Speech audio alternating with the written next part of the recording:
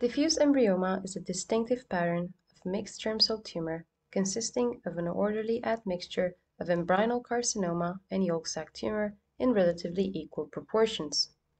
In this example, the two tumor types are admixed in a so-called garland pattern, with the embryonal carcinoma component forming solid nests and ribbons, which are in direct continuity with the flattened layer of yolk sac tumor cells surrounding them.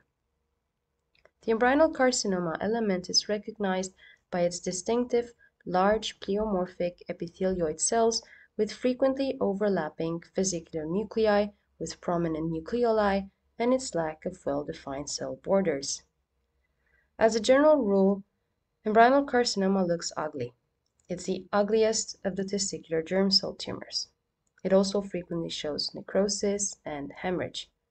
So if your first impression of a testicular germ cell tumor is that it's ugly and aggressive, think embryonal.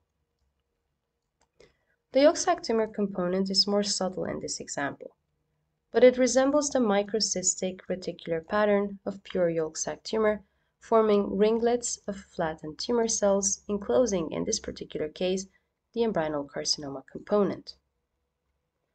Postpubertal yolk sac tumors show a wide range of architectural patterns, which are often seen in combination in the same tumor, so always consider yolk sac tumor when you see a variety of growth patterns occurring in the same tumor. Characteristic but not pathognomonic for yolk sac tumor is the presence of intra or extracellular PASD positive hyaline globules.